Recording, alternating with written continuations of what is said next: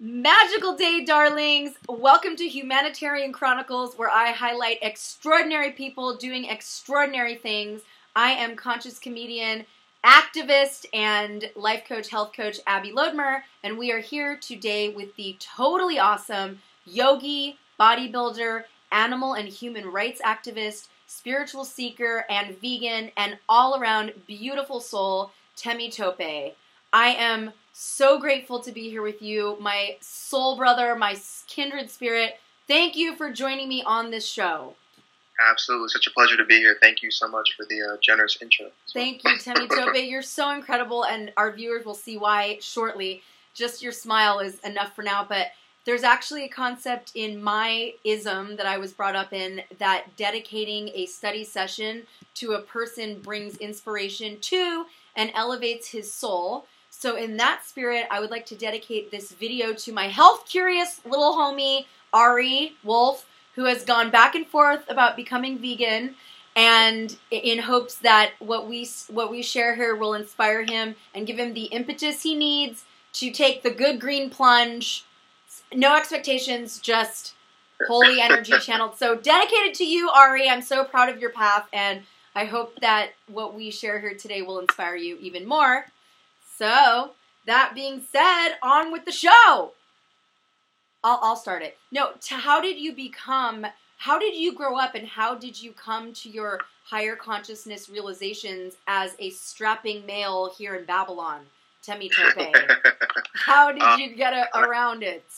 That's funny. Um, I actually grew up, um, grew up a child of, of African immigrants. Uh, they came over to America in the 80s and uh, grew up in Southern California. Um, Orange County, and um, a lot of times I grew up I grew up playing football, doing a lot of you know very stereotypical American things, um, and very much by what I thought was accident. I never planned at all becoming a, a, a yogi or a vegan. Um, it very much happened uh, randomly um, over a series of just random events. And one day I found myself in a, uh, a yoga studio. Um, I found myself going through, you know, I, actually ever since growing up, I was always into I think spiritual things. It always kind of attracted me. That was like cool, um, and uh, was always open to it. I'd say, although I wasn't particularly like super religious or, or good at it, if you will. Um, but um, I ended up uh, doing yoga and doing meditation. And very, very small, right? Meditating like 30 seconds a day, a minute a day. Um, and over time, I think just sitting in the stillness of meditation, letting your mind and thoughts kind of settle down, um, and just looking, just being aware of what's going on more and more, and studying stuff, and then being aware of that, not just reacting to it. I think over time it became very obvious, and it was over time. It wasn't overnight. It became very obvious that um, the vegan lifestyle was like the solution to so many of uh, the problems on this earth. It just became like very obvious. It wasn't it wasn't like a complicated thing. You didn't have to go to college for a semester to learn anything. It was just like, oh, simple yeah. stuff. Kids already know this. Like, oh wow, we're destroying the planet. We have slaughterhouses. Like, why? What slaughterhouse? What's why would we do that? yes. um, Amen. And so it just came, yeah. Well, over- yeah. Well, you know what? It it boggles my mind. I, I'm just so grateful that I, when I found out about you through your biggest fan, my mother, who takes your yoga classes in LA. I, when I heard about you uh, saying inspirational things while people are on their mats about specifically veganism, my mom's like, "You've got to meet Temitope." I said, "I've got to feature Temitope," but I it just brings me back to this feeling I have that I'm just mind boggled at how few yoga instructors that I meet, along with so many other spiritual and religious leaders, rabbis, priests, uh, just shaman, are not vegan. You know, and with yoga instructors specifically, since one main tenet of yoga is ahimsa, kindness to all beings, and they constantly recite the motto in every class I go to may all beings everywhere be happy and free, and promote mindfulness. And then I see them going out afterwards, after this hot, sweaty yoga class of mindfulness and ahimsa, to chow down on their carcass sandwich, totally unmindful of the harm that they're buying and biting into. Mm-hmm. Mm-hmm. You're, you're totally right. Um, it's uh, there is that contradiction, um, uh, but I, I was part of it too, right? Like, and that's how I try to look at it. Um, I started yoga before I became a vegan, and uh, I think part of it was that the practice of yoga increased my awareness. The practice of yoga increased my meditative abilities, and so with doing more yoga, my awareness grew, and eventually was like, oh wow, of course I shouldn't be eating animals, and oh this doesn't. If I'm really being ahimsa, you know, practicing ahimsa, which is nonviolence, um, you know, and being and and saying these things like all beings everywhere should be happy and free. How does this drive? But I had to do the yoga to get there. So I feel like in yoga, you'll find people on everywhere on on the path, beginning, you know, any anywhere on that evolved consciousness, and just by doing the yoga, they're on the way towards um, more compassion and more love. And for me, my my, and I think I'm still on the way too. I'm still there's probably other ways I can be more and more compassionate, but it's like it's inevitable that if you could live a life without being harmful to others and you're practicing yoga, eventually that's what you're going to do if you keep practicing the yoga at, at its core.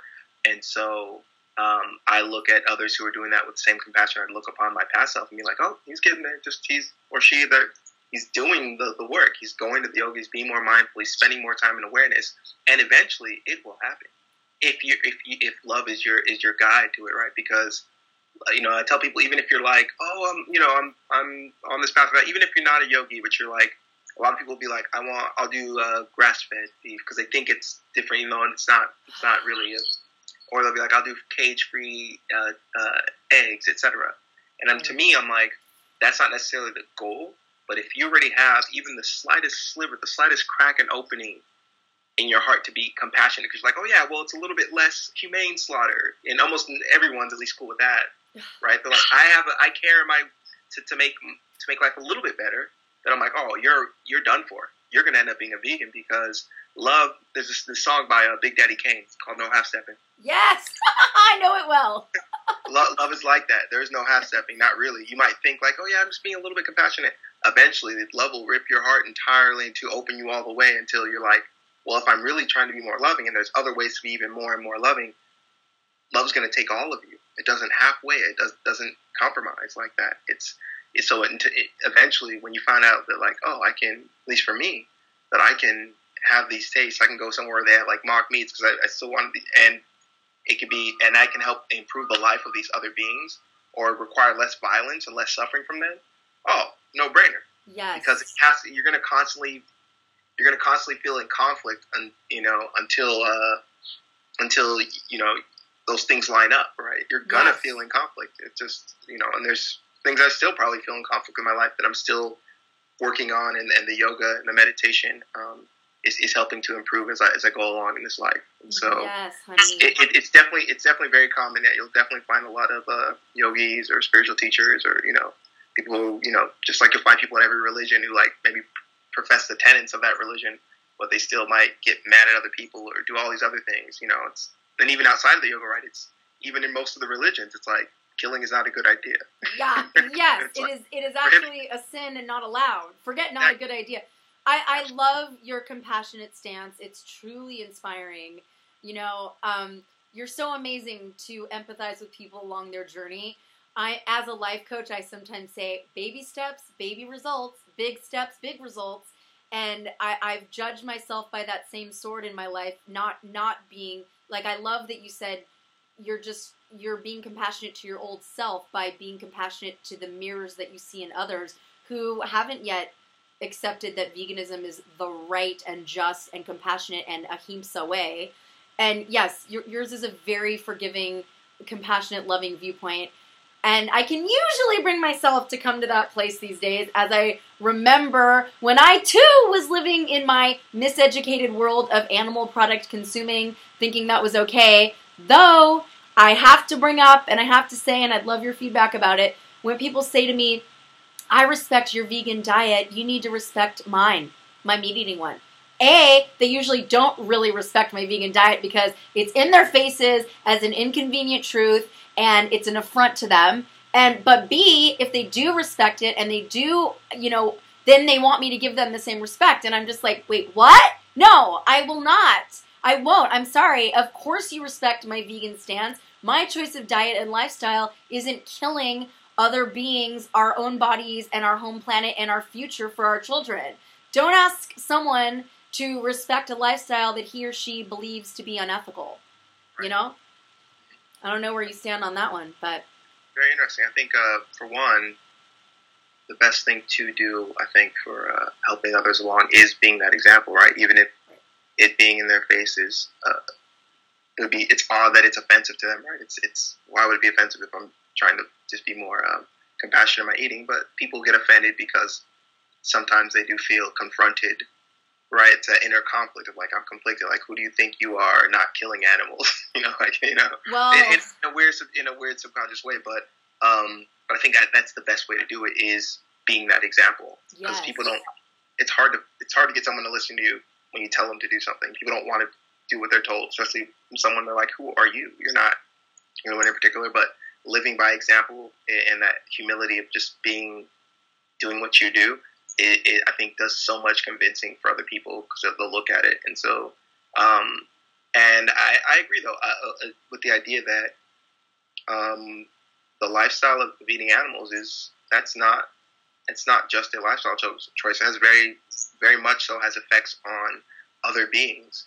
Um, it, it it's directly contributing to um, to uh, suffering and pain of animals and I understand that it's hard sometimes just be like to have that compassion stance, especially when it's in your face. I saw I saw Earthlings. I've probably seen Earthlings a hundred times. I mean, I oh, watch it, I watch it over and over again, and it's hard to look at the suffering and then be like, oh yeah, well, it's, it's difficult because you have these beings that are suffering that are also a part of you, just like these other people, other people who aren't necessarily vegan. Like even people in my family aren't necessarily vegan, but I still love them because they're they're a part of me. All these other human beings are a part of me, but so are these animals and so it's even conflicting to, to me because it's hard. Like I, all these animals are just just as much a part of me as any other human being, right? And like they're part of our circle of compassion. And, but I know that because the ways of the world uh, are so much aligned with kind of the violence and the murder uh, of animals, and it's been that way for so long. I have to then sit back and look at what are the ways that it can be stopped. It's yes. it's whack. It's crazy. It's but mm, I know that I can't just go in and and you know and stop every every you know CAFO concentrated animal feed operation or every place where they're slaughtering animals. It's like it's so big of a problem. How do you attack it? And I found that um, I mean, and I when I first went vegan, you know, the same way early religious converts have this sort of zealot, you know, zealot. Um, yes. I was that way, like yo, I never lost it. oh, this is crazy. We have to stop. And I still feel I know, that. I know. I still feel that energy, but I now think about channeling it into into kind of more practical ways of reaching people. So I'm like, hmm, I know that people don't. When you hit them head on with it, they don't necessarily listen. But how about you just teach people to be more mindful? Hence, yes. teaching yoga because I know that it, I know that it's coming. It's truth. It's not me that has the special sauce it's the it's the truth of the universe. So if you can be trained to sit, if you can be trained to think past your thoughts, if you will, um, and be aware of what's going on and be compassionate, you're going to end up being vegan. Oh, because because when you see what happens to these other beings, I, I I I know eventually eventually you'll be like that's not right, yes. and I want to stop it. Yes. You know, uh, it's it's so odd. As soon as you look, and most people don't want to look, right? Most people are afraid to look with their eyes at these videos of what's going on with the stuff that they put into their mouths, which is crazy because, like, at least with your eyes, you can shut it off. Right. It's just your eyes, right? But, and, and you're like, I don't want to see it, but you're gonna put what came out of that that you're not willing to look at. You're gonna put it inside of your being. That's wow. crazy.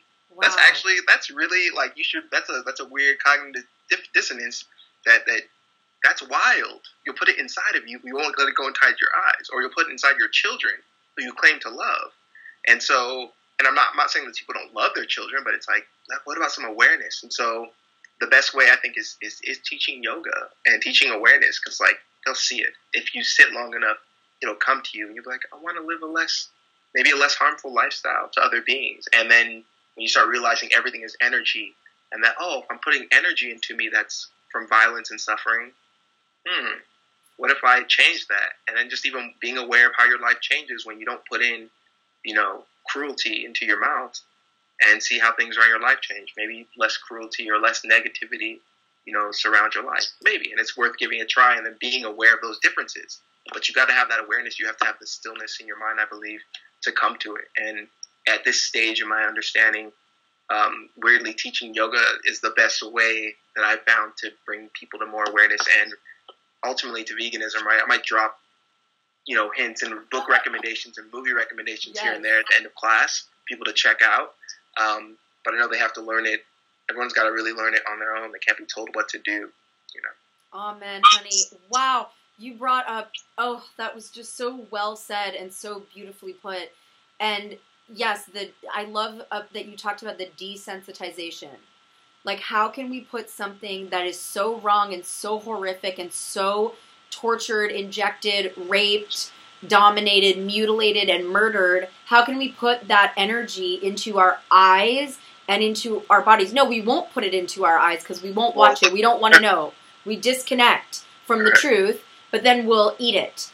And I'd love to know your feelings about, yeah, and what we eat becomes us. You are what you eat. It's not just an adage, it's the truth. Science has proven it. This body, this flesh, this skin, these hooters, whatever, all everything was from something I ate. Yeah. Everything. Genetics has been disproven. It's epigenetics, but everything that that is me right now is from something that I thought or or spoke or believed or ate. But you know, eating builds us. So yeah, it's like it's crazy to me. Like, why would I want to become more angry, more depressed, more tortured inside? Um, why would I want to suppress my my majesty and and you know all everything that animals go through? Why would I want to become that?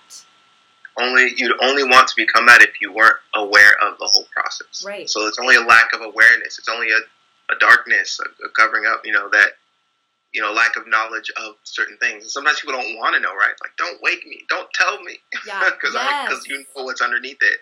Um, yes. and, and a lot of people even admit to that. And so, but sometimes people aren't ready for the whole truth because they can't deal with it. Um, and so, and there was a time I was. I remember I was like, I don't want to watch that stuff. But then when I became like on my way to it, I was like, I want to watch. I've seen. I cannot think of a piece of footage. Um, I mean, I've seen a lot of it. I, I sought it out. There was a time period where I looked for every, like, I did not look away from a single thing. I sought out every instance of animal cruelty to really make myself face it and confront it.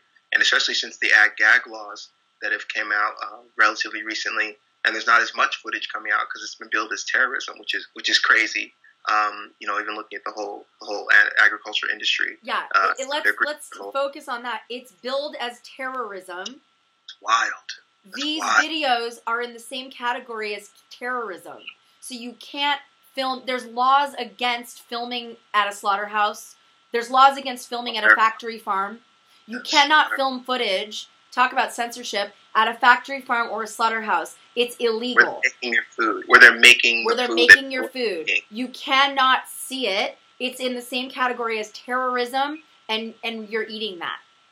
I mean, the, the ironies are, are, kind of build up on top of the on top of themselves when you analyze this, this situation. For one, some of the most terror-filled and horrific acts are happening in there, and to film and expose that is an act of terrorism. That's that's like literally turning the whole situation on its head, right? People who want liberation and freedom and are driven by compassion to to to whistleblow on what's going on. I mean, even if you were for eating meat, even if you weren't vegan, you should be totally against that because these people can expose at least what's happening to the food you're putting in your body. Like, what if people were, you know, which they are, you know, talk about spiking the punch metaphorically, there's a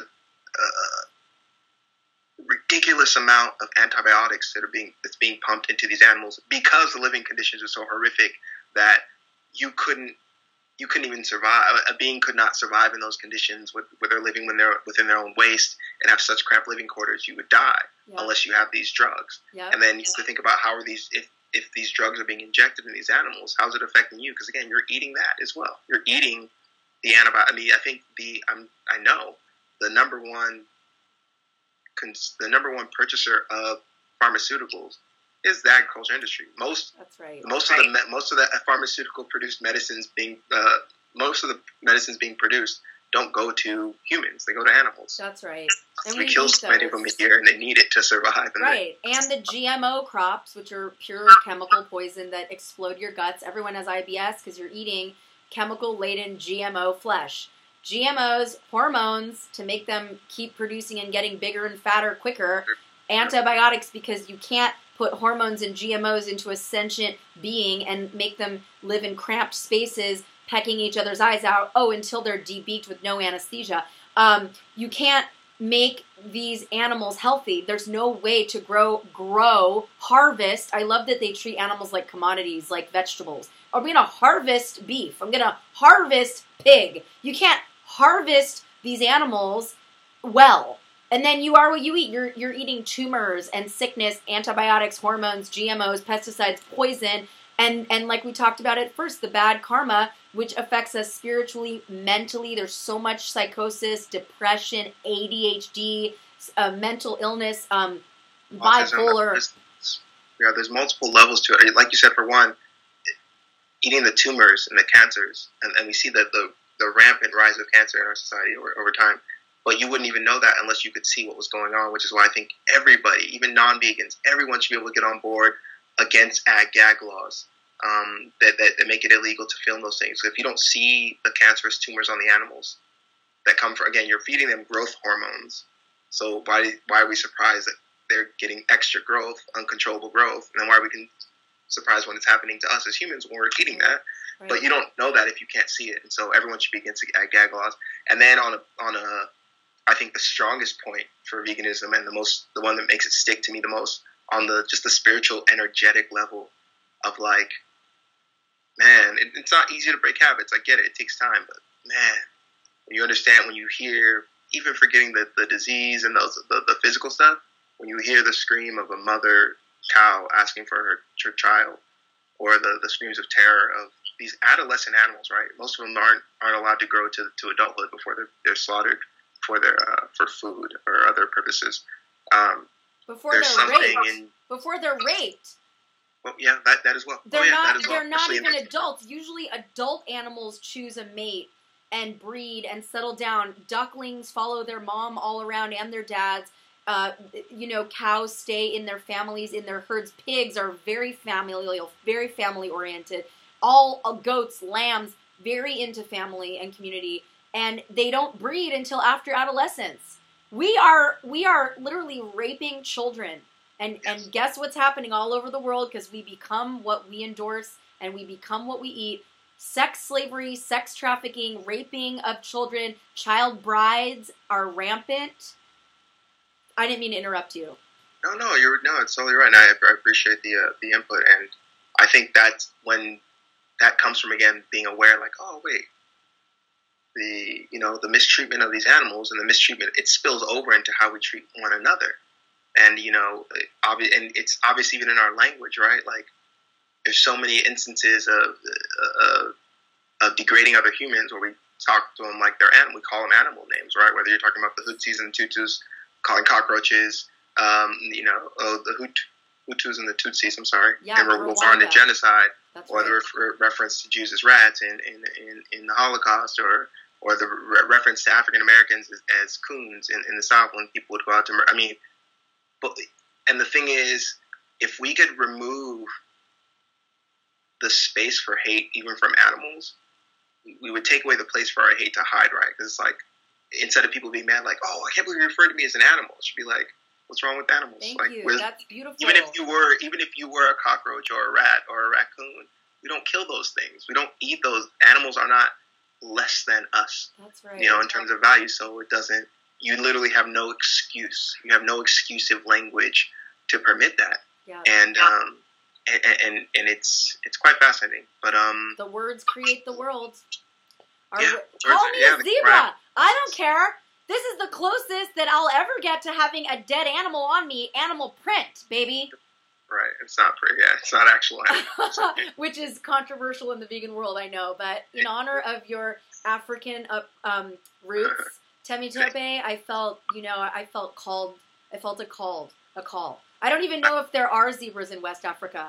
It might sound. Uh, I'm not sure either, right but I, I, think as I think there's a beautiful and fantastic connection between African spirituality and nature, uh, with animals, um, you know, the oceans, the waters, the sky, the, the, the heavens, and I love that about uh, about a lot of the indigenous African uh, spiritual traditions and that kind of quote unquote direct you know relationship with the creator, right? Like uh, I think it's part of our our shared human ancestry as well, right? That's the first way that human beings, you know, in Africa, according, according to science, connected to, to the creator and the Most High was through nature. And I think if we all get back to those those those roots, right? Uh, you know, I, I like I was saying that you know human centricity is Afrocentricity and human centricity are the same thing. It's not some like weird outlying thing to be like Afrocentric. It's human centric.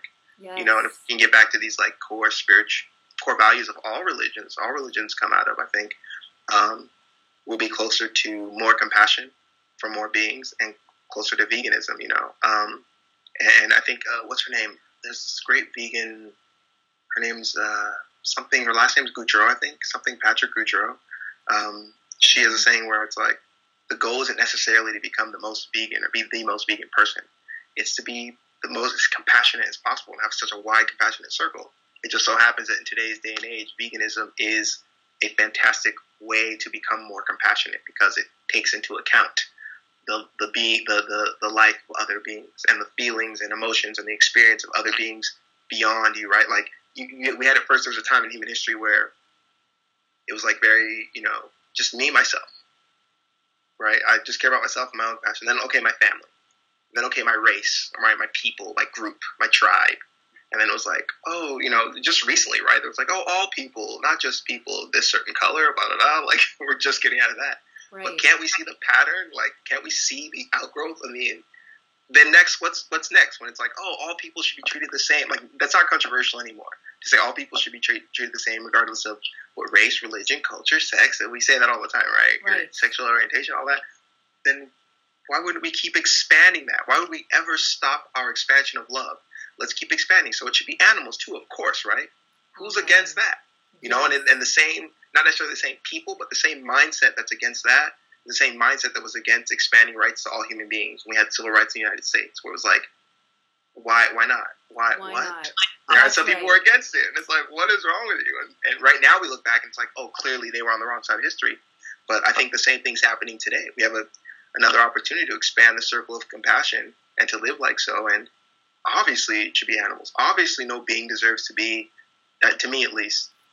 I think it's just if you if you follow the, the thread of love to its center, and anytime you encounter a being that's being that's suffering or that's hurting, you're going to do what you can to undo that suffering or hurting because you see that person as a part of you because that's the truth of the matter. Yep. And um, veganism is is a way and a philosophy to, to help do that. And there are there are great yogis who do practice and espouse veganism. Sri Dharma Mittra from the uh, he's still alive even from the Dharma Mittra uh, Center in New York. Yep. He's a yep. fantastic, and I think I think I think he more recently became vegan because he comes from I think the, the, Indian tradition, the Hindu tradition where he was raised vegetarian. Yeah. And there's even like I think um, I don't know which um, it might have been one of Gandhi's descendants, maybe not. I think it was the doctor, might be Sonia Gandhi, who talks about like in India the movement to like get people to go vegan and get off the milk and etc. Um, not so much because milk in itself is bad or eggs in itself is bad, but because of the way that it's being quote unquote harvested. The way in which we're doing it is so devoid of compassion, is so devoid of love that we should not do it. You know what I mean? Like, well, without it. I have with- to. I a hundred percent agree with you, and I have to add, I do think milk in and of itself is bad from another mammal. From my studies, from my 20 years of nutritional health in the human body studies, any even studies with cats. When you that Weston Price did, when you give cats cow milk, they they're deformed three generations later. They're dead, stillborn, or deformed. What do you think is happening to us? Even crooked teeth are a deformation. Crooked teeth are a deformity. Our skulls are supposed to grow down straight. With we don't need to get our wisdom teeth pulled. The only reason we need our wisdom teeth pulled is because our mouths are so deformed that they don't even have room to grow in. We have to. There's cr- overcrowding because it's a deformity. And why are so many women, uh, you know, not able to birth or breed children? There's so many stillbirths nowadays. There's so much people can't get pregnant. You know, I, I'm not positive on the numbers of all all those things, but I do think that there's been so many instances. You know, there's times and places where you know whether it's between different mothers, even amongst humans themselves. At first, that's the most obvious where one mother maybe doesn't have enough milk for her children because she's malnourished or whatnot, and another mother can take care. And though there's a different profile, they're in the same species. Right.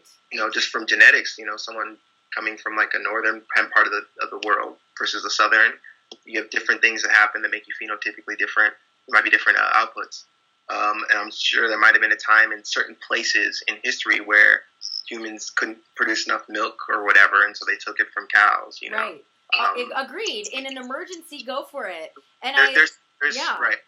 Think about the ice age, right? In parts in probably north, north, uh, north, in the north, northern, north hemisphere, right, where things got really uh, cold, right? And there was right. ice, the ice age, maybe. Maybe there was no you know, like when we started out in Africa, it was more than likely there were plants and trees where food was literally growing out of the ground and dropping from the sky. That's right. right, Manna from, from heaven, baby. That's why right. would I? Why would, right, why would I go try to hunt an animal down in blood and all this? But if you're, it's an ice age, which may happen for whatever reason, and there's no food. Oh man, then people had to kill animals perhaps and use their, their, their skin for furs and all this, and like it's a sad time. That sucks. But it's a sad time. It choice. sucks. It's not ideal. it's not, not gonna. Ideal yeah. And people talk about with you know whether it's paleo, etc. Like getting back to our roots, which I, I have issues with because I'm like our roots aren't in caveman days, right? Our roots are in, on the plains, probably. Like roots are more than likely in Africa as human beings. Like, yep. but, but we have this idea of, which is you know obviously mixed in somewhat with our you know uh, our the very um, off kind of origins of human beings, right? Whenever you see pictures of cavemen, they're usually pictured as light skinned people, right? As though like the earliest humans were light skinned, which according to scientific data, it was probably not true. No, we're all African. We are all African. So all you haters out there who don't like the darker skinned people of this earth, hey, guess what? You are that. Hey, guess what? You you went away from the sun into a different hemisphere and your skin lightened. Right, yeah, to get more melatonin up in it. So, hey, we're all so, African. We're all herbivores. Right, and so by that token, it's like um, but because we have that idea that yeah, it must have been like these kind of European cavemen as early humans, and so things like the paleo diet catch on, and it's like wait, that's not our no, that's not human history. That might have been a time period where some humans in certain climates had to go through that, but even if all that was the case, we know that today and now we don't live in an era where we have to. In fact, most people wouldn't even. Although some there's a whole like kill what you eat movement. That's a different story.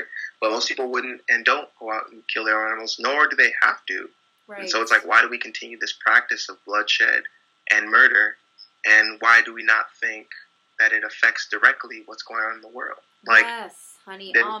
There, there, there will never be, I don't believe that we can ever have a planet in peace as long as we allow slaughterhouses, as long as we allow and regularly you know, patronize places where they kill innocent beings for no reason or for food for any reason. They're innocent beings. Because I like it. Why? Because I like the taste of meat. Oh well, I like my planet, and I like feeling great, and I like animals being able to live happy and free. So please right. adjust your taste buds. A lot of those things uh, to happen will never be at peace on this earth, right? It's not any just one person; it's our society, and so um, I, I just hope for more. And I know it's going to take time, right? I'm expecting like I, I get the state of emergency too, right? This is crazy. It is crazy. Crazy. But it's like, all right. So how do you how do you how do you move things along? It's not an overnight thing. It's a piece by piece, each person, each one teach one, right? Someone I someone might see this, right? Like I watched so many YouTube videos and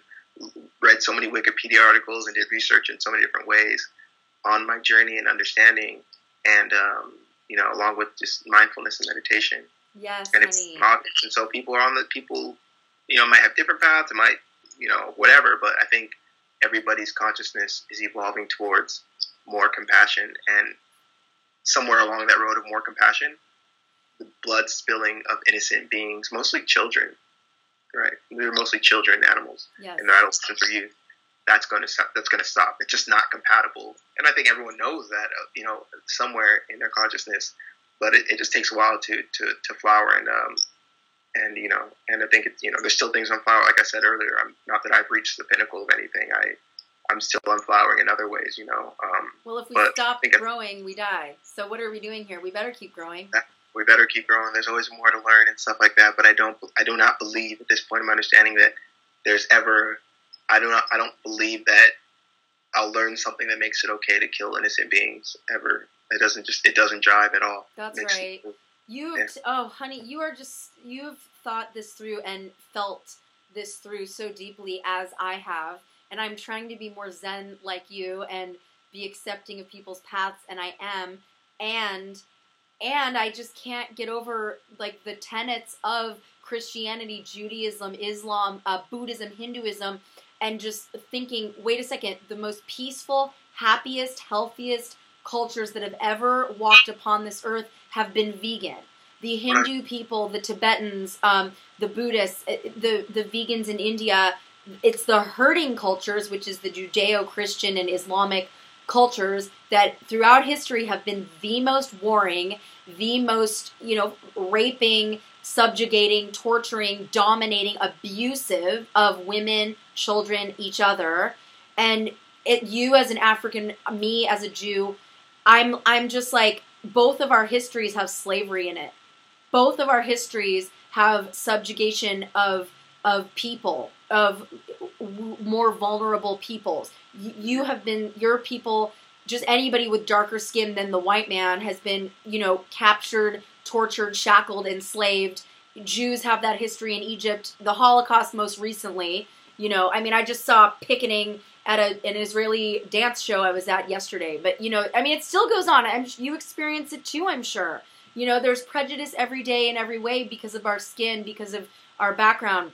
But it's just kind of mind blowing to me when I get together with people of uh, you know my ism or with my darker skinned friends and i'm just like we've been enslaved that's like part of the drum we beat of our culture why why can't we wrap our minds around the fact that for these animals it's an eternal treblinka mm-hmm. i love that book yeah, like I, I just especially for for me and for you and for people, our people, our all of our people are our our, our people, and I feel that. I understand. I, I, get what you're saying, and I think there's there's so many levels to that. Um, and I'll, I'm going to read off a list of fantastic books, so to go into that please, in a please. fantastic and careful and beautiful, um, mindful way on, on looking at those those connections, and also want to be mindful and respectful of uh, definitely those that. Um, Eh, you know, because so, so just to give us a little background too, um, my parents came to this country in the 80s,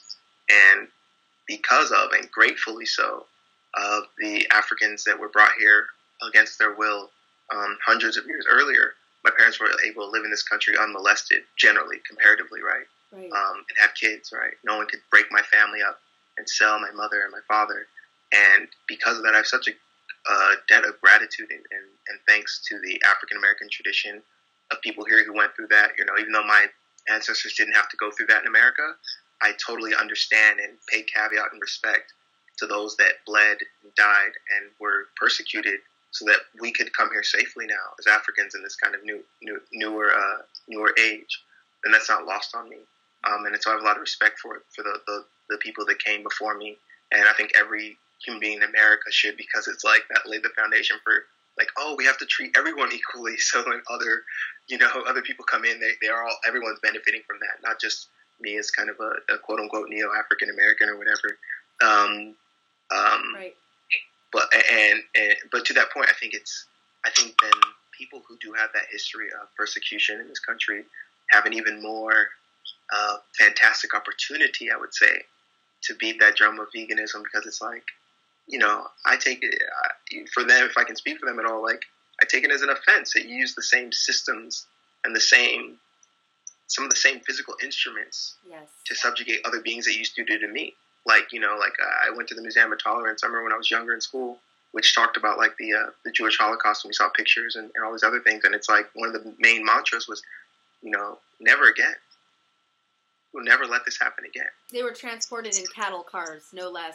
Same right, and they and you're going to use the same cars and the same systems, do the same thing to someone else, and I'm supposed to be okay with it because it's someone else. That yeah. not someone else. That's another part of me. These animals, they're not something else. And it's and energetic. That, that, oh, say it again. It's just it's it's energetic too, regardless of whether it's a human or an animal. It, just the energy behind it. And I, and I feel like you, you have more of a leg to stand on um, when you come from an oppressed people, which is why I think Gary Yourofsky's message has been so powerful and well accepted in Israel.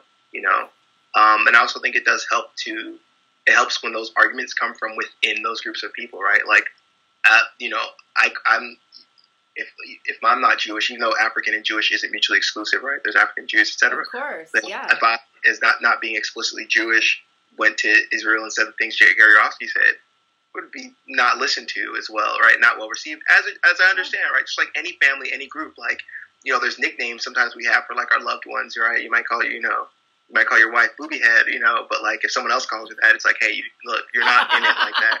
And by, by that same token, when you go into like African or African American communities, I think you know when it comes from within the community, from people who see that, it's much more powerful than outside, which is which is why I think sometimes you have the conflict within um, speaking communities, whether it's communities of color, et cetera, or not, where it's like, hey, people get offended if you speak about certain things in certain ways. It's got to come from within those groups, I think, and I, I think that's a beautiful thing. Or amongst people who who understand that and don't take the offense, and they can like, okay, you. It's a beautiful thing, right? It's like, all right, you go back to your people and say, you can say this, and I'll go back to my people and say this, because we're trying to get them to the same place, and we know that, and we should take advantage of the fact that we are the divine manifested in these certain groups, manifest as the member of this group, and so I have a I have a better chance and a better opportunity to go in and speak about something to certain people as you do. You know, like for example, there's the whole you know feminism movement, right? I can't as easily go to a bunch of women and be like, it's this rape is the same thing as this and that. That's going to be what more well received by a group of women from a woman who's talking about it. There's a beautiful book written by um I don't know her name, but it's called The Sexual Politics of Meat. Wow. Uh, wow. The Sexual Politics of Meat. Wow, it's like a vegetarian critical theory, vegetarian feminist critical theory book. Like that's amazing. That's fantastic, right? I would love to see things like that, you know, and I totally support things like that.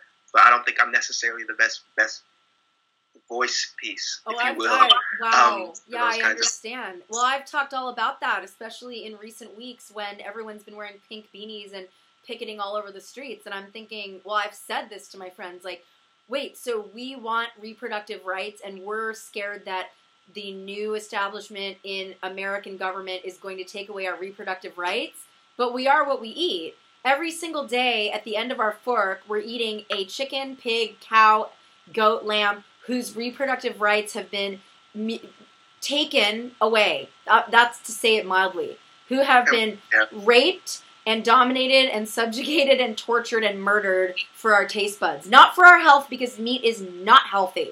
Dairy is not healthy. It is not a health food. It is killing us. Okay, we are herbivores. You can study up on that. Dr. Milton Mills, totally inspirational, talks all about how we're herbivores. Many other subjects, uh, people, and topics out there. And when I and when I did when I talked about um, milk itself or dairy itself not being bad, I mean in the in the cases it's you it's meant for, right? Like when, when mammals are children, when mammals are infants, right, from their own mother, to grow faster, right? But right. most animals, all except human beings, as far as I know, after you reach past a certain age, you wean yourself off that milk because you don't need to grow as fast. You don't need those nutrients, in which effect yes. it can become harmful.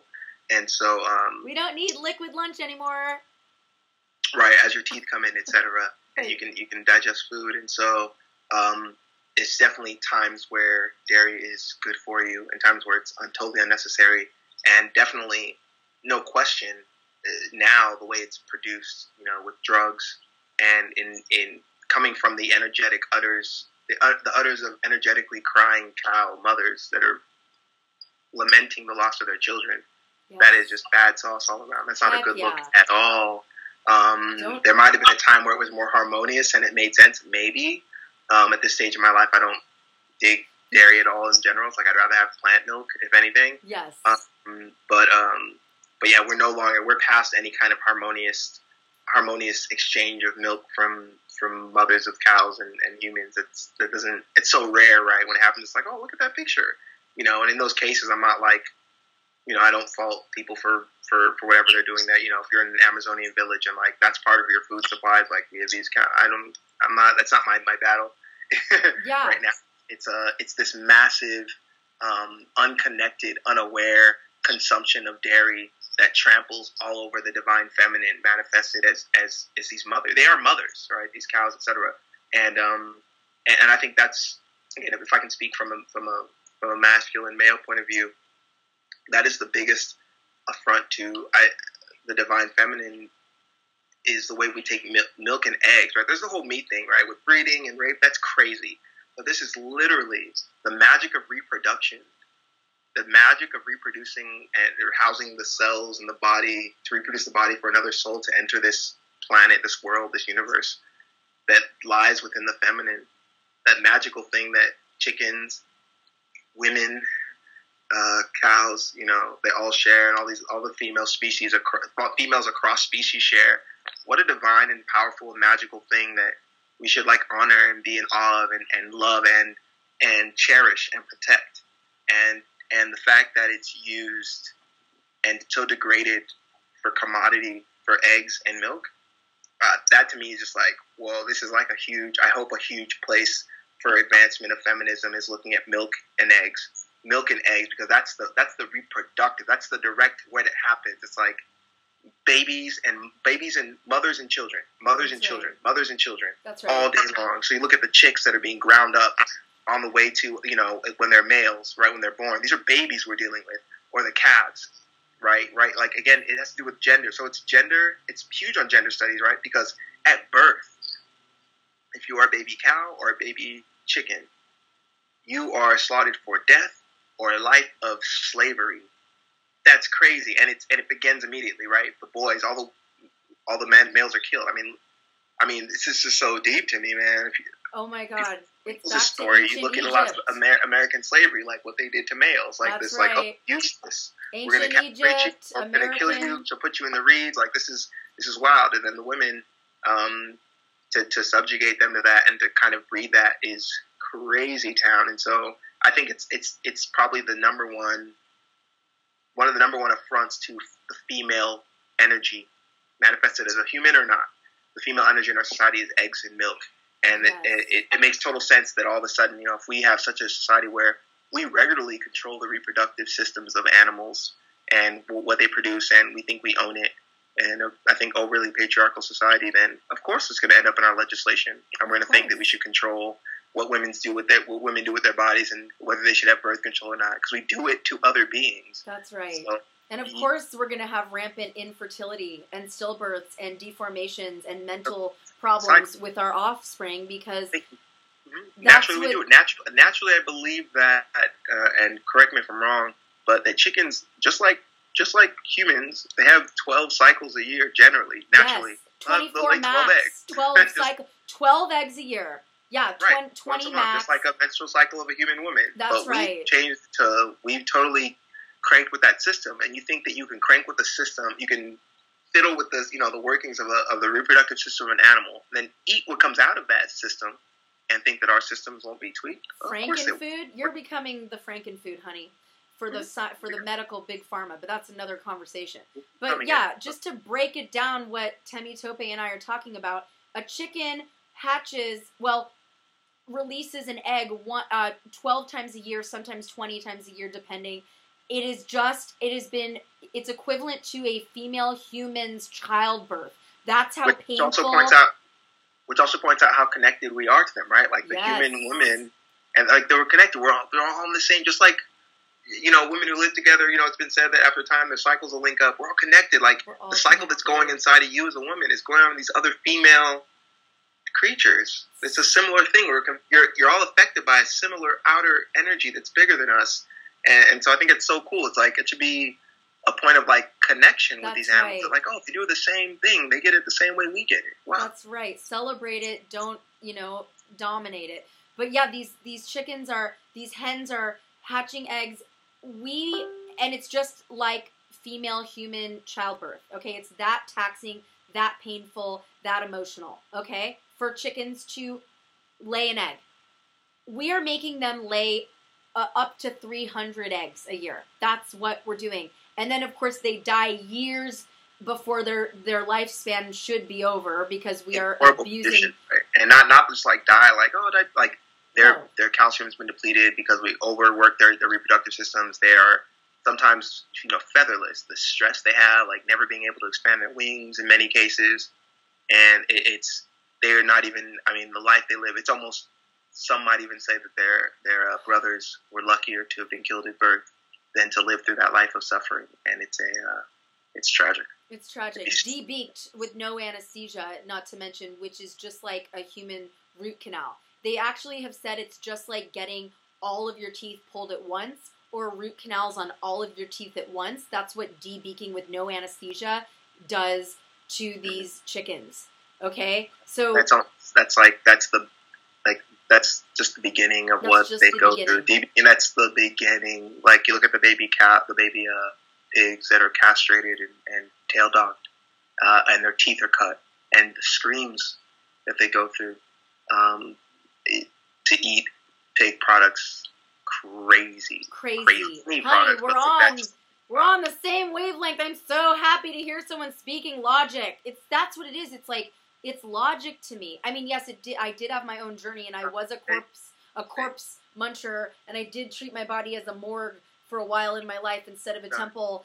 Though, I, I, I now from the perspective I'm at, I'm just like, thank you for being there because it's so refreshing and it actually makes my feathers grow back and makes me less stressed to actually talk to somebody who understands these principles of life and yeah the, the cows oh god the pigs it tragic the cows they they are fist up the um, female yeah. genitalia um, fist up there to inseminate them. They do not get to make love. They don't get to choose a partner, which they do in nature. They have partners. They make love. They play. They jump and scamper and hop in the field. They are put in little crates their whole lives, veal and other cows. They are inseminated by a human fist on a rape rack. It's called a rape rack. These farmers admit that it's rape, and they impregnate them so many times until they die. Basically, impregnate them forcibly until they're they stop producing milk because their bodies are so overtaxed, and then their babies are stolen away to be caged and put in a traumatic little cage, not able to move a limb, to be veal. A few months later, live in horror, and these mother cows are screaming and crying, and then science has shown both in cows and humans that when a mother is going through trauma, it comes out in her milk. So all the dairy products and milk we're drinking are full of fight or flight hormones and grief hormones. Grief. Cortisol. Grief. The, energy alone is is grief. We're literally drinking like sad cows. We like are. it's really like it's really mind blowing. But I wish sometimes everyone we could see energy. You know, you could feel it. Like you could see the energetic. I wish there was like the way there's nutrition facts on the back of uh, things. I wish there was like a little like karmic coefficient energy meter of like you know what's the energy of this food. Yes. I think people would we, would um, people would, would change up. Right, all those cows you mentioned, right? Like they, first they die in their adolescence. They're, they're I think five years is the absolute maximum I've ever Max. heard of a milking cow surviving. And upon their death, they are killed, and we eat the food. So not even do we drink their milk, we eat the meat of this suffering mother who's probably went through birth maybe five times, or you know, as, as soon as she can, to until she doesn't produce milk fast enough, and we eat them, and they're turned into meat. They're not thrown away. Like dairy cows are used for meat when they're done when they can't give birth. So it's like adding insult to injury. You've given us your life force. You've given us the product of your womb. We've taken it, and now we will take you. Like it's really like, and and, and I think it's only because of unawareness. I don't. I think when when you, you sit and confront it, every human being has that capacity, I believe, to be like, oh, wow, that's crazy. That's super whack. And of course, I want to change, which is why and how eventually I think most people become vegan, you know, that stick with it, right? It's a compassion thing. If you do it for diet, I don't, I think you'll be done in a couple, you know, I, it's not as, to me, it's not as, it's not as connective of a hook.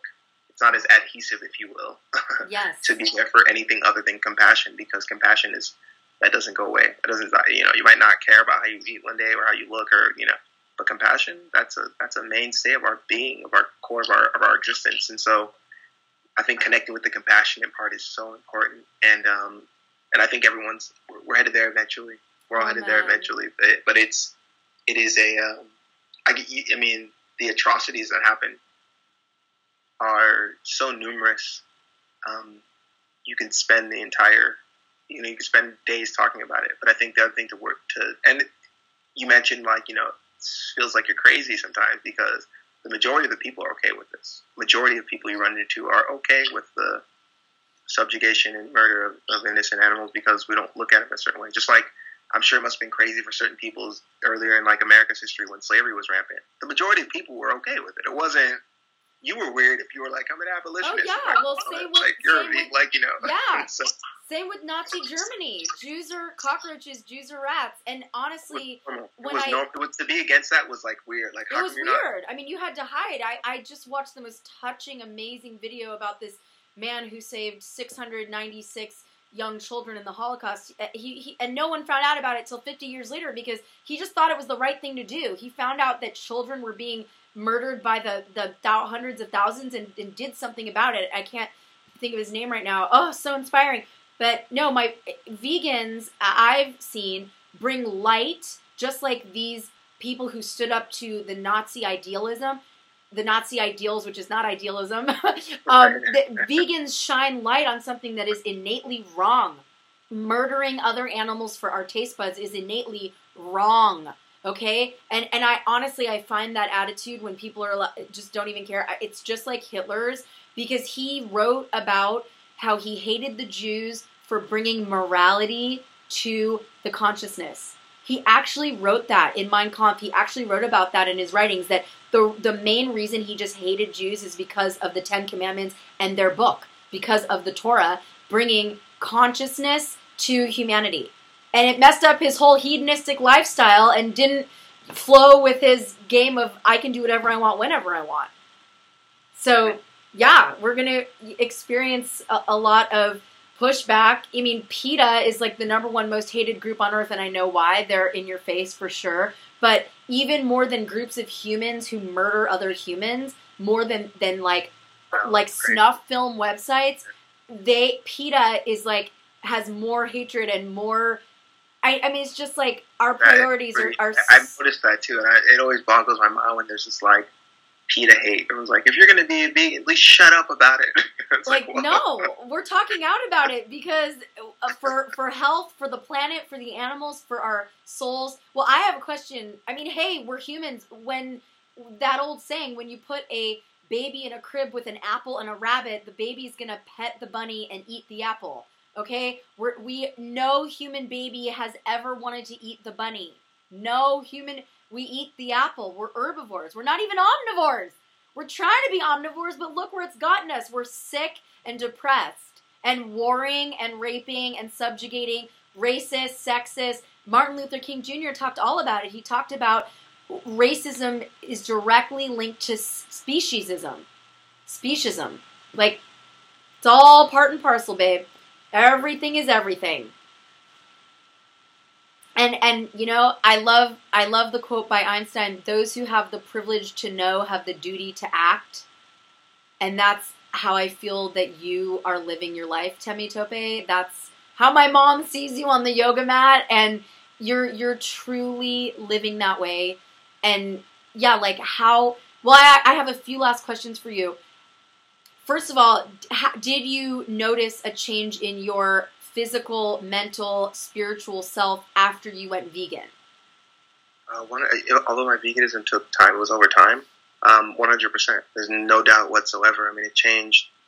I mean, it's kind of, you know, even the small weird things, right? Like, um, like I wouldn't kill bugs in my house anymore. Right? I'd try to capture them and release them outside, and I'd feel good about it. It yeah. weird, you know, not like in a, hopefully not in like a self righteous way, but like oh, that's that life that whatever they were doing, whatever they were on their way doing in that whatever lifespan they hold, like keep doing it. I didn't make you. I didn't make these insects. I didn't make this plant. Like that was made by whatever made me. And if I can, I'm not gonna not gonna try to stop that or mess it up. It's like just like you don't see flowers. Most people don't see flowers and want to stomp on them. You get married and be like, oh, do your thing. And so it changed. Like even something like that, what I never thought about before. Right? If I saw a spider and or something, like I had no problem killing it back in the day. I didn't think about it. I wasn't mindful. I wasn't aware. I didn't. I literally did not consider their life. I didn't consider. I, my ego was was constraining me. But if I can see another being and think about their life, and that's the th- same thing. that I think it allows us to kill other beings, or let it be okay to kill other beings, right? Even something as small as like killing an insect. You know, no, that that that grows, right? If you have an indifference to the life of another being, um, and so that change um, even how I treated other people, my um, I feel like I was more calm with other people. I was I wasn't taking in stress as much, right? Am I taking in the stressful life of other beings or the um, and so like you know I'm less prone to get in arguments. Yeah, I found myself uh, less prone to react to other things, right? Um, I don't know, just made me like I felt I felt more calm. I felt more peaceful. It just felt felt good, you know. And then also just even in my body, digestively, like feels good to like I felt lighter. Literally felt lighter. Like food digested and went through my body faster, and so it was just more on my toes. And you know, doing yoga as well helped with that. You know, it just kind of went hand in hand, and um, it just felt really good. And, and even like I think a lot of yogis, people who practice yoga, even if they aren't vegan, a lot of times they end up eating less meat or less. They're very mindful of, sure, if I want to practice yoga, I got to be able to twist and turn and and bend. And if I'm eating things that stay in my system, it's not going to work. That's right. You know, it's not, it just doesn't feel good. So you're even more mindful about when you eat and how you eat, and eventually that mindfulness will creep into what you're eating or quote unquote who you're eating. Yes. You know, not even quotes like who you're eating. These are other beings when you're when you're not uh, um, when you're eating the flesh of another being. And I know some people get you know uh, uh,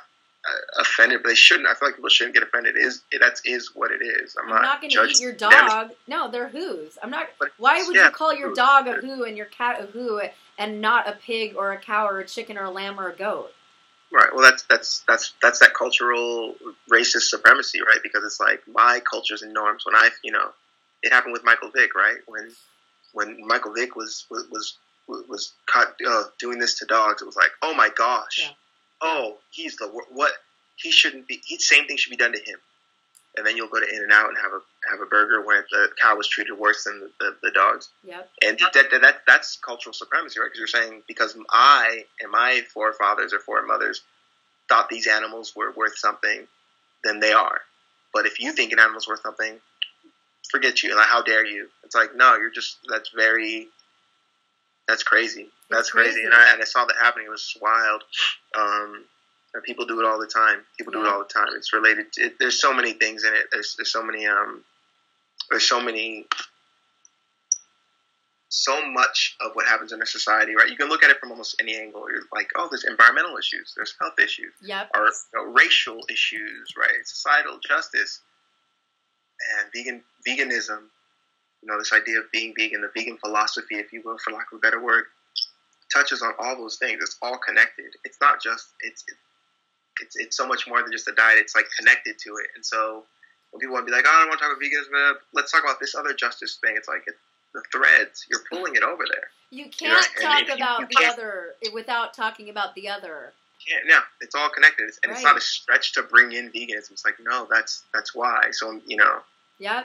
And I won't go into too much. This is probably a whole nother another um, topic thing. But you know, when people came out with you know when there was the uh, which is still it's been happening forever, but the Black Lives Matter movement, and then people would be like, all lives matter, and it's like, and you're not vegan. It's like mm, that's right. super super like you, right. you're literally saying that as a reaction a to these people. You know this the the suffering of these people, and you don't actually really mean it. That's right. You don't actually even really mean it. So it's That's like right. it's doubly horrible. But when we don't have um, when we don't have mindfulness, I think, and we don't have that meditation, that peace, peacefulness within ourselves, and we don't cultivate that, that bullshit will happen again and again, over and over. Um, we even even in how we, we talk about um, um, the simple stuff with language, right? Like we talked about growing up, it'd be like, oh, I love chicken, or I love fish, or I love. You know, I never, I never liked fish. Yeah, good. we use the word love to talk about what we like to eat. Like you don't love that chicken. In fact, you don't care about that chicken. You love the taste of that chicken's flesh. And you literally mean the exact opposite of what you're saying. Wow. But but if you're if you're willing to then use the word love for that, how do we then treat our spouses and other people we say we love? And you could be hurting them. And it's like, ah, this shit, it's all linked up. It's linked up to the most simple stuff. But it's like you literally said you love steak, but you don't give a fuck about a steak. You don't care. You literally don't care if they cut its throat and serve its body on your so then what does that mean when you say, I love my mom? I love my kids. I love whatever, right? America, whatever you want to put. It's like, do we even know what love means? And how can you use the same word to mean something totally opposite? Uh, we have to really check out and examine. But that doesn't, I was part of that, right? So I'm saying this from like, I'm being self critical. And it's like, oh, I didn't really even notice what I was saying and what I was doing. until I slowed down and just let my mind settle and, and meditated on it and just think about it. Just think about what's going on. And so, again, I, I, the, I feel like the most, the best way is to point people to themselves, which is what yoga does. Just sit down and look, examine yourself, examine what you're doing and how your movements in the world are affecting other people.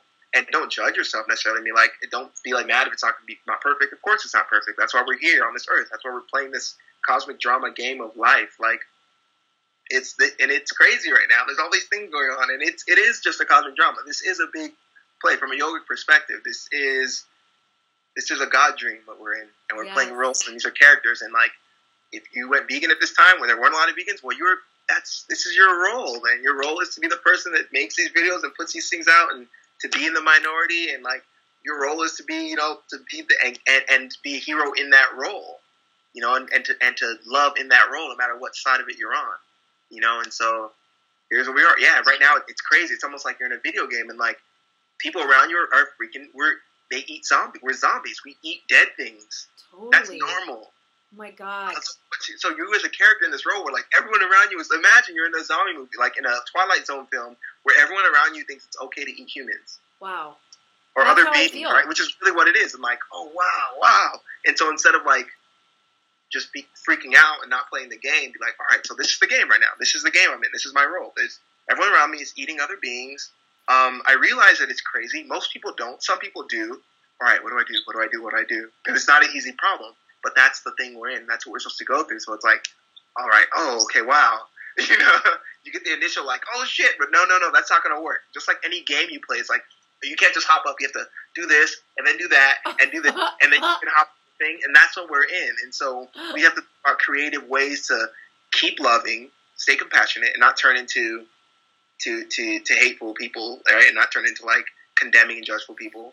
And but yes. also just to, to solve the thing. And I think in that journey of understanding how to do that, we become better people, become evolved souls, and um, and compassion flowers throughout our entire lives. And I think that's awesome. And I'm willing to, to, to I mean, I'm here. That's why I'm here. I'm willing to take up that, that thing. It's like, okay, I'm okay. I'm, I'm okay to be on this team and to be surrounded by the zombie eaters. And I love some of them are my family. I love them. You know, they're all in my family, really, right? Every human being, even the ones that, you know, but Same. That's, that's the game. Down to play. You are so on point and such an inspiration. You just completely blew my mind. I'm going to Temitope, thank you. You have just laid it down. You've just laid it all out. I am so grateful for you.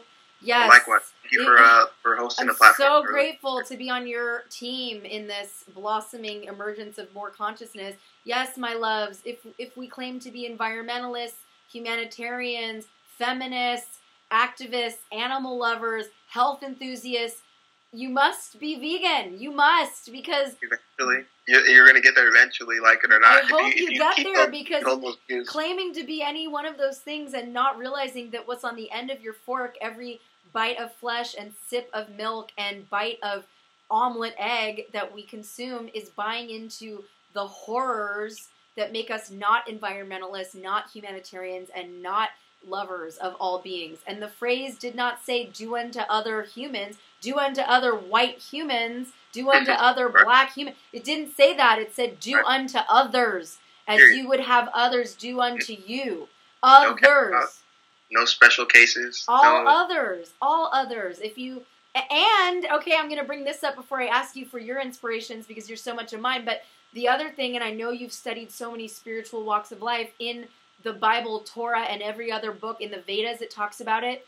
Not only ahimsa and doing unto others, but it talks specifically about not mixing DNA, not mixing animal, any other DNA, like scientifically, like basically not playing God. Like it says in so many words, I am your God, I've created you perfect. Don't mix your DNA. What are we doing with every vaccine, every pharmaceutical drug, every bite of flesh? that's becoming our DNA. We're becoming these tortured beings and cows, chickens. We're becoming zombies. We're becoming things that are not human. And that's why we're seeing so much murder and so much violence and so much confusion and so much depression and so many behavioral disorders and so many families broken up. We're ripping cows and, and pigs and, and chicks away from their parents. Guess what? Divorce is astronomical and families are, are being broken up left and right. So, my loves, please look into going vegan. Listen to the wisdom of Temitope. He has come to it through such a beautiful path. I'm so grateful that you have, so we can have this conversation. Who are who are your inspirations, and can you recommend some books to read and websites to scope out so we can get to the garden? beautiful. Uh, well, I'm, I'm, not super familiar with the um, with the um, with the DNA mixing thing exactly. I know like because you know obviously we mix DNA to make other children. You know the DNA, you know, the chromosomes, etc. Or even with plants, there's DNA, etc. First um, hand. Yeah, firsthand. So, right. So I'm not, yeah, I'm not, yeah, exactly. So I'm not, I'm not, super positive. I'm not super aware of of uh, of, of that. Um, however, um, I do think we have to be mindful of, of how we are, you know, attempting to recompose, re, recreate all these things and do these things in, in certain ways, especially when the, when there's no com- compassion in it, right? Like there's times where, you know, doctors performing procedures and doing medicine, which is like splicing DNA with other DNA, might be helpful to like graft a heart to another person's body that needs a kidney, a, a transplant, right? But that's out of compassion and to help save someone. I think compassion is is such an easy guiding factor in it all, right? It's like whatever you're doing, like is compassion there? Because if it's gone, I don't care what it is. It's probably not a good look. There's probably something wrong with it. But if something as simple as compassion, which babies to adults to the most elderly to, most, to the youngest can get, then just keep that with you in your pocket. And that's easy. You don't have to learn too much. You don't have to like read up on every single X, Y, or Z. It's like, but is compassion there? Are we doing this with compassion? Because if not, and something else is driving it, then that's it's an easy indicator, you know.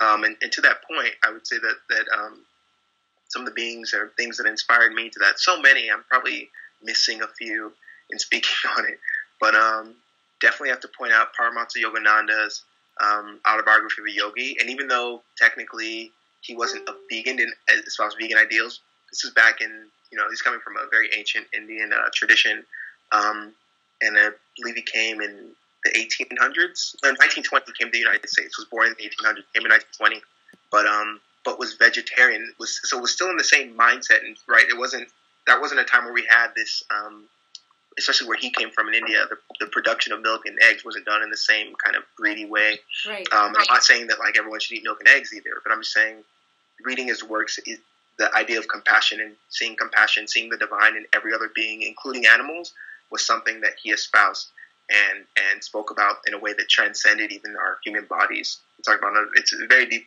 beautiful spiritual book, autobiography of a yogi. Highly recommended. Um, Ricky Williams, huge inspiration for me, being a football player growing up in school, and he became like a yogi and like a vegan, um, and used to play football. Was amazing at football. But he's been a huge inspiration for me. Um, Gary Yourofsky, someone I, I love. No, I don't agree with everything he says. I think you know right. he he he he can be very biting and, and, and very harsh for some people. But I think again, that's his role. That's his character to play for his for what he's experienced in his life. He is playing the role he needs to play and being the temper he needs to be at this point. Doesn't mean I'm like that, you know. But a lot of the stuff that he's done, I have to be grateful for because you know, reading, the, watching the greatest speech ever, I probably gonna watch that a good 50, 60 times, you know, and it's just one of the most powerful and beautiful things. And the work he's done that's helped helped uh, kind of spread that awareness in other places um, is fantastic. I don't, and I don't think the point is to replicate ourselves. I don't want a vegan that's just like me necessarily. No, like, but I just if God you can inspire people to be on the, the path for me, for me, the path for me. um, that was huge. Um, uh, there's so many others. Dr. Greger, did amazing work. So many vegans. I, I literally can't. Dr. Will Tuttle. Yes. Um, my goodness. The World Peace I think Diet. Black Hebrews, the Black Hebrews who have these these uh, kind of Hebrew um, vegan uh, places all around. Um, even um, what's the name? The the Elijah Muhammad uh, from the Nation of Islam, yes. who wrote the book How to Eat, How to Eat, How to Live, Eat, Eating to Live, How to Eat to Live. KRS One, who actually talked about that book in his in his um, in his rap uh, Beef, in his song yes. called Beef. Talks about Elijah Muhammad's book, where this was back back in the day, where he was telling like African Americans, like, um, like know, we've learned how to eat, you know, from being in America for so long, we've been eating crazy. Like, and he talked about eating, not eating meat, and like, you know, it was such, it's such, such an advanced being for that time where no one was talking about that.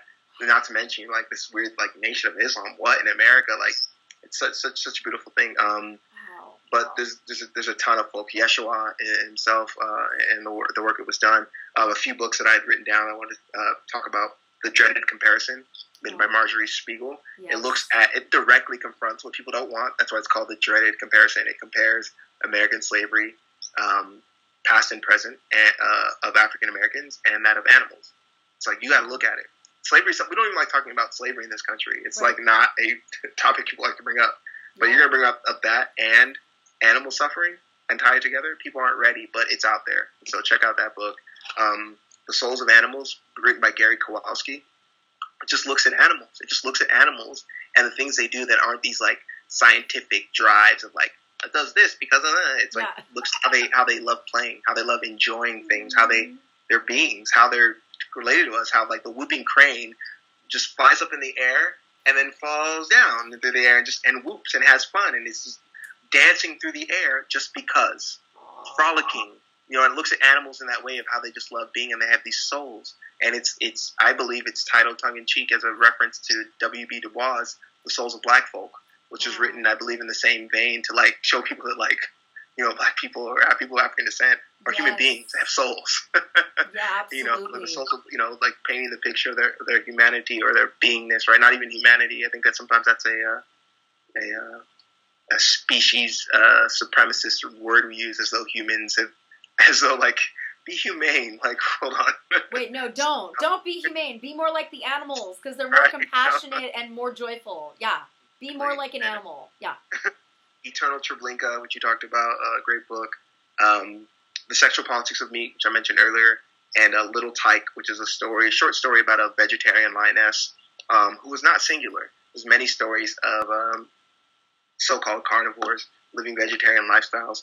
Um, a lot of times in India, when sometimes uh, saints or gurus would adopt tigers or lions, and those lions and tigers become calm and peaceful like their guru, um, and and would end up not eating meat, um, um, and things like that. And so, and it's not again, I'm not saying it happens all the time. I'm not saying I'm on a crusade to turn all you know lions into uh, into um, herbivores necessarily. No, but I'm saying like it can happen, and um, uh, and people often ask.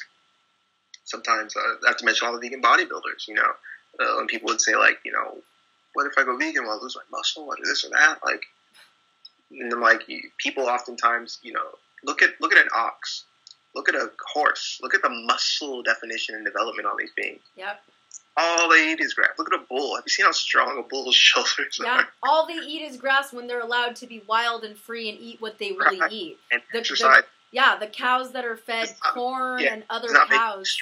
Right. Right. Not a muscle necessarily a muscle, and it's not the only form of protein. So it's like that is not. We've been messed with in our heads to think like, oh, animals that eat meat are the strongest. Like, no, it's not even kind of true. Not even a little bit true, not actually. Even. No, that's right. They're not strongest at all. They might have the most sharp teeth, but like that's you know. And I and I totally side theory, and I might totally be wrong on this. I don't know, but I think like over time as we evolve and things become more compassionate and more vegan, perhaps if you will, I do think that carnivores will probably like become extinct. I just think I don't know. For some reason, I think like it just over time, like it's very hard for carnivores, animals that eat other animals. It's hard. It's very difficult. They have to find. They feel like hunt them down every day. They live some of the hardest lives. I don't think it's going to be sustainable uh, in in a certain time. I do believe there's a time where a place in human history where like there aren't carnivores, and that's you know I'm, I'm not saying it has to happen. I just I don't know something about it. Just that's very outlandish, you know, very arguable. You know, there's nothing scientific behind it. I just don't. I don't know. I think well, it's a, the lion shall lay down with the lamb. It's been prophesized. That, uh, exactly. So it's not even about the carnivores of the world being going extinct. It's about the carnivores going vegan. no, for real.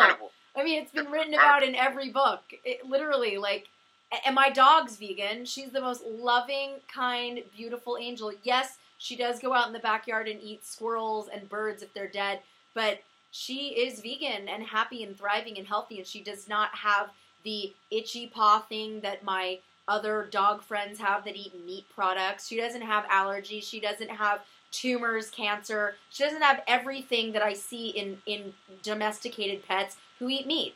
So, whatever they're going to lack from their vegan herbivorean diets, it's not half as bad as the terrible health they're going to gain from eating meat products.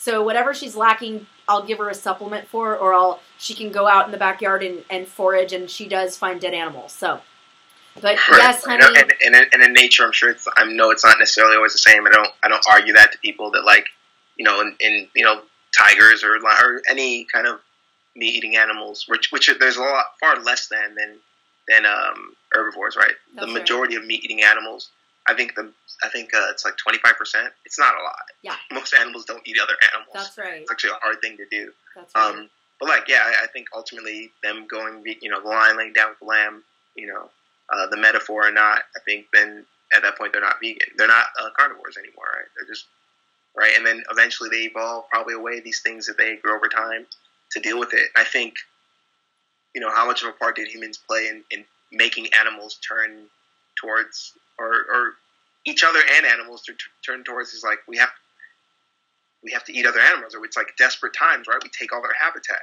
We we don't treat them well right? It's like they, they're struggling you know but in a time where if we took care of animals well we're really stewards and really perform dominion over animals in a kind way. And they didn't have to. Would they really want to chase down a gazelle and like right. almost starve because they can't have enough stuff for their or they'd they be like oh, i'm not gonna i'm I'm gonna chill. I'm gonna eat what's right here that's not running away from me. Plants Twigs and berries. Twigs and berries, baby. Get back to the garden. Get back to the garden. Get Stop the with garden. these false beliefs. Please, my loves, educate yourselves. Please read the books. I'm actually going to put them in the description at the bottom of this video. Temitope's number one top tier, top shelf Rex to be a more compassionate, less of a carbon footprint being, vegan being on this earth I admire you so much, Temitope. I am so so grateful to the universe for sending you my way. I just, I cannot so thank you enough for sharing your wisdom and your deep, heartfelt feelings about loving the earth and the beings that we share this earth with and each other. Your girlfriend is a lucky, lucky lady. Your family is so lucky to have you, and our community is so lucky to have you. I'm so grateful. I can't wait to take your yoga class and hear your profound Anytime. wisdom. I, will be there, babe. You, you oh, you'll know. I'll be wearing this shirt. I'll be wearing less than that. no, but I so appreciate you. Thank you so much. And I'm going to put your website down below, but do you want to tell our viewers how we can find you and learn more profound things about life? sure, anytime. Uh, any, uh, thank you first off for the, also the platform, and thanks to your mother, and uh, I really appreciate you guys. Um, but yeah, TemiTopeYoga.com. T E M I T O P E Y O G A dot com. Temitope Yoga. Temitope is my first name, um, just kind of long. Um, but yeah, and I try to put stuff up on there. I have links to my Facebook and Instagram under the same uh, same handle, Temitope Yoga. Um, and yeah, it's a lot of yoga, you know, recommendations on books and other things. Ooh, which I need to mention another one. Yes. Helen Keller's Light in My Darkness. Wow. Helen Keller, Light in My Darkness. Wow amazing book, amazing book, fantastic, amazing book. Um, Thank you. Ah, so much awareness. She was deep uh, because remember when I talked about the importance of meditation and awareness, and um, sometimes it's hard to get into that. You have to have a practice. But Helen Keller, her life circumstances forced her into meditation. Her eyes were closed. Her ears were closed. She couldn't hear. She couldn't see. And she wrote an autobiography called Light in My Darkness. She was in the meditation and she saw the light, you know, and she was very aware of that third eye and the stuff that so many religions talk about in so many different ways. She was a spiritual giant, and um, it'll give you goosebumps up your spinal column when you read about, when you read from her. You know, a lot of times we've read about her, people talking about her, just like we do with a lot of the greats that start religions. People talk about Yeshua, right? People talk about but when you hear the words from her herself to you, then you'll truly, truly are blessed because it's a miracle. It's a miracle that we even get to hear her words because she couldn't, she couldn't hear and she couldn't see. she was brilliant, and um, she's been one of the most her and Emanuel Swedenborg, which was her um, kind of her guru in a way. Um, and this was mystic Christianity back in early America when things were crazy. But you see, so even in the craziest times, right, with the, the slavery, the cannibals, the zombie eating, there's always a threat of people. Even in like the Kali Dark Ages, right? So you know, Yeshua was here. Right? When people were crucifying people, you still had these people even if it was smaller and not, not in the majority of the people who are carrying the torch of light and awareness and beauty. And you can see it in a lot of these things in the books I recommended, I hope. Um, so, yeah, my pleasure. And thanks for having me on. Oh, Temitope, thank you. I am so excited to read half of those books because I've only read half of them. And I absolutely agree. They are incredible. Everybody, lots of love, lots of consciousness. Please live a compassionate, upstanding, virtuous existence go vegan, get educated, get inspired, and go to temitopeyoga.com as your first stop on that path. Thank you so Thank much, you. my inspired kindred spirit. You are a blessing and a light unto the nations. I am so honored to be in your glory. Thank you. You're incredible. We got to do this again soon. See you soon, babes. Thank you so much. Thank you, Angel.